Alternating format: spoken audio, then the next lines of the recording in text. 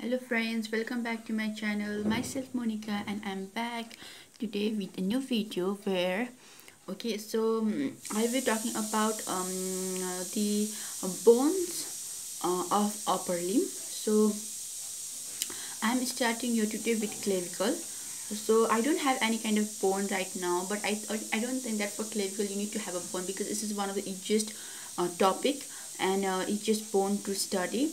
So just having a bone and learning about its atta attachment and nerve supply is not enough. You must you must also mug up what are the things attached there you know. There are so many things attached to these bones and we don't know uh, we just don't forget it. And uh, you know it just feels like what what is what was the use of learning so much?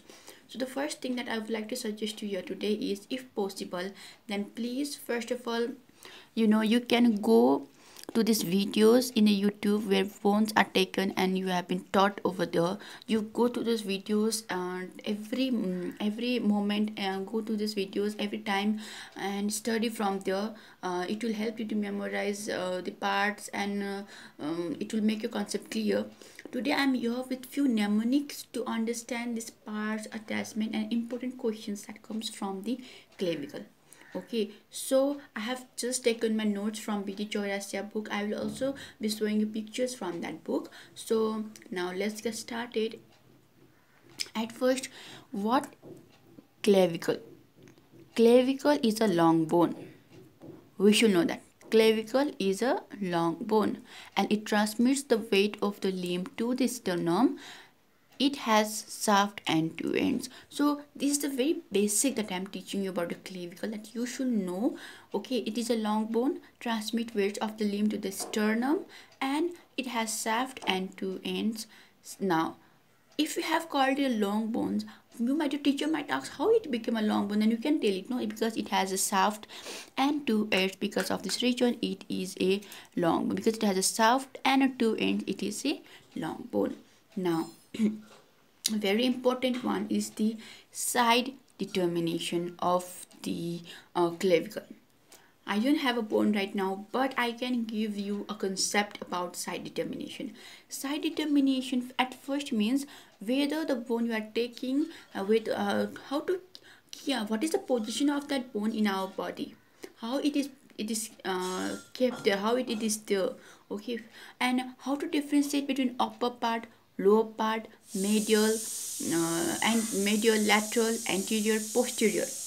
How it is arranged, how it is there.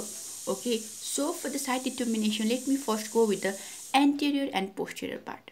That means upper and low. I'm sorry, upper and the lower part. Okay, upper part of if this is a clavicle and if this is its upper part okay where it is written as a vein chest if this is the upper part then its lower part is this isn't it? So in clavicle if you take this bone and if you see a smooth surface with no any ridges no any tubercles it is very smooth and that is the upper part of the clavicle. Whereas if there are ridges there are uh, groups or there are impressions there are tubercle then that is the low part of the clavicle which you can see here in this book of BD Chaurasia.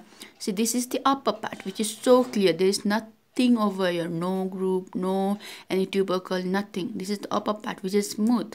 Okay, where's this lower part? See, there's tubercles, there's subclavian groove, there is inter-impression of costo uh, clavicular ligament. so uh, this is the way we can differentiate between the upper part of the bone and lower part. Now the thing is to differentiate whether the, it is an, uh, anterior or lateral. Which one is lateral and which one is the anterior okay, uh, medial okay? So medial end is quadrangular in shape. So we know what is quadrangular like like this. You know it is quadrangular in shape. So this is the medial part. Whereas flat okay? Flat and um, you know flat or conical kind it is the lateral end okay? It is a flat and if it is conical like then it is the uh, lateral end. So this way you can differentiate medial and the lateral end okay? If you see an egg, if you see so you can go here okay? If you see a flat part then you have to understand it is the lateral end. But if you see a quadrangular part you know it is little bit circular and then it's quadrangular then it is the medial part. Upper surface lower surface. Now the very important part okay again to differentiate between whether it is whether uh, okay it is uh, lateral or medial. So lateral side it, it is always um so lateral side lateral one third is concave forward whereas medial two third is convex. So it is convex okay? It is concave concave cave like concave convex concave convex. So if this is if you see a uh, this side of the bone with this part then you have to say that is lateral part. It is lateral one third will be concave forward and the medial two thirds will be convex forward. So um, most of the students what the mistake that they do is they got they get confused in anterior and posterior part. So you have to always understand that lateral part which is flat that should be always concave forward. Okay concave forward and the medial part which is quadrangular should always be convex forward like this like this. This this will be the uh, uh, clavicle. Okay this is the concept. Now peculiarities which is the most important part and where uh, this is the most asked question in Viva also. You know this is the very important thing uh, from the um, bone clavicle which are its peculiarities. So I have made a mnemonic for it that is mom's tips. So peculiarities of clavicle. So mom's tips. So for mom tips here you can see here this M. M means membrane ossification okay so it undergoes membrane ossification. So there are various kind of ossification which we have already read in our general anatomy. So among that this is the bone which only undergoes this is the long bone which undergoes the membrane ossification. Oh this is the first bone to ossify in the body. This is the first bone to ossify in the body Again M, there is no medullary cavity. Actually in long bones there should be the presence of medullary cavity but there is no medullary cavity in this bone. S, subcutaneous throughout. It is subcutaneous throughout means you can touch it. No, this is very uh, easily uh, we can touch this and analyze this. So it's just below this cutaneous layer. Okay, because of it it is known as subcutaneous. T, 2, P primary center. Usually in bones there is one primary center one secondary center but it has got two primary center s means middle subscapular nerve so this is the peculiarity of clavicle. The one important it is it is only the one important point that is left it is only the bone which lies horizontal. So i think you can just tell it by you know observing the bone scap um, clavicle in your body. It is horizontal. So one very common point that one very you know like easily um, memorizable point is that it is very it is horizontal. And others are mom's tip. Just understand it and then go and then you will get m for membrane ossification o for first to ossify m for no medullary cavity s for subcutaneous throughout t for 2 p for primary center and s for medial supraclavicular nerve. This is the um uh, mnemonic for the peculiarities of clavicle which is one of the very important question now. So the next one that we have to study okay is the attachments okay. So for the attachments so for the attachments i have made the name agariko dp change gar अगाडिको DP change गर means change यो DP the front one जो अहिलेको sorry अहिलेको means present to change yo present DP okay that can be Facebook DP whatever it is so अहिलेको DP change गर के अरे अहिलेको डिपी चेन्ज गर अहिलेको आई वान टु से द्याट अगाडिको यु नो ए फर अगाडिको means the anterior one okay the anterior one dp means deltoid pectoralis major and the capsule of sternoclavicular joint dp d stands for deltoid P stands for pectoralis major and C chains stands for capsule of sternoclavicular joint where C chain C stands for capsule of sternoclavicular joint. So why I have made mnemonic just for these three muscles is that you know we get confused in examination hall with so many muscles named to mock up and to in order to reduce the um, uh, chances of confusion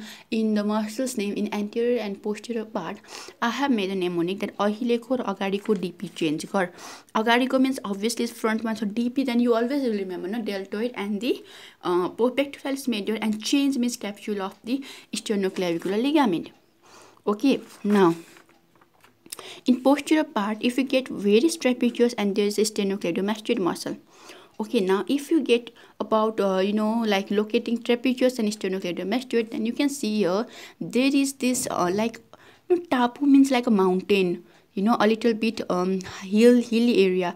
So there is this hill there is this hill kind of thing which you can say as trapezius trapezius tapu like you know so this is i have named it as trapezius so if whenever in the clavicle if i see um, in the posterior part uh, there is this uh, you know like a slopy a hilly area then i will name it as trapezius whereas this uh, deep area i will name as sternocleidomastoid. So in this way i have learned about the, the uh, okay, well, the upper surface, attachment in the upper surface of the clavicle.